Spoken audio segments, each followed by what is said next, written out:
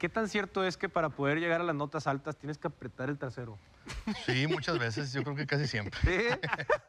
Por eso no puedes, bueno, por eso un, un servidor, no, yo no puedo comer antes de, de cantar.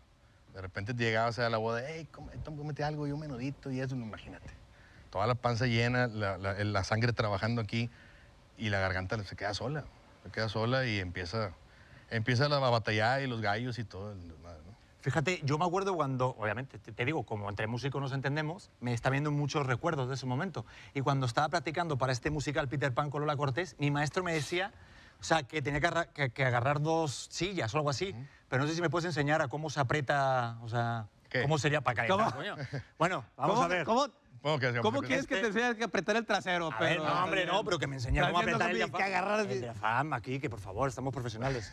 Este, ver, ¿cómo? no sé, a ver, a ver, a ver, vamos a ver. serio, ¿Te vas a parar o no te vas Me, a me parar? paro, me ¿Vas voy a parar, el sí, trasero? ya, O no sé sea, qué hacer, es que me algo da serio, miedo. Si me enseñas uno un poquito cómo sería. Es que mira, bueno. ¿Cómo es una nota mira, alta? No, no, no, no, Mira, hombre, no. que sí que te puedo cantar yo.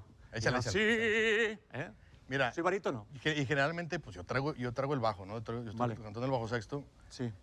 Tienes que acomodar una manera de, de- o sea, yo, yo me acomodo de una manera así, pues, para poder que, o sea, si, si te pones así, o, o para arriba, o para abajo, pues, eh, la garganta también te tiene, va, que, claro. tiene que estar en posición. Exactamente. Posición de ataque. Es que para Porque si cantar no, si no que- lastima, ¿no? Claro, obviamente, si no te lastimas. No, totalmente.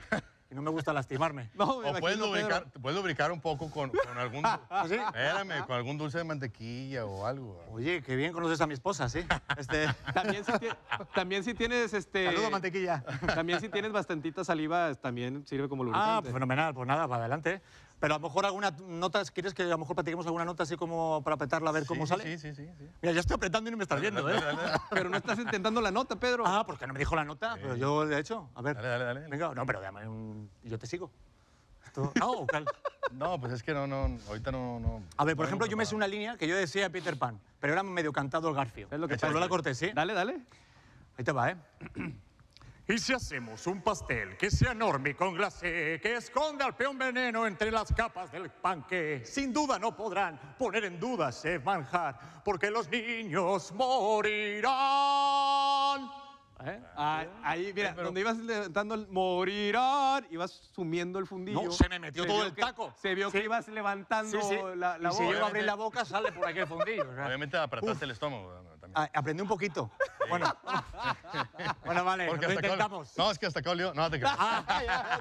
No, eso fue porque no me bañé, que vine directamente del aeropuerto. del. No fue por el esfuerzo de más, seguro. Ay, oye, no, pero sí, de hecho, hasta me daban un globito. ¿Sabías eso? ¿Ah, De- sí? para practicar el diafragma, me daban un globito para practicar porque dicen que respiramos ¿eh? más los seres humanos. Los bebés se respiran bien porque sí inflan el ¿Diafragma? diafragma, nosotros respiramos con los pulmones y no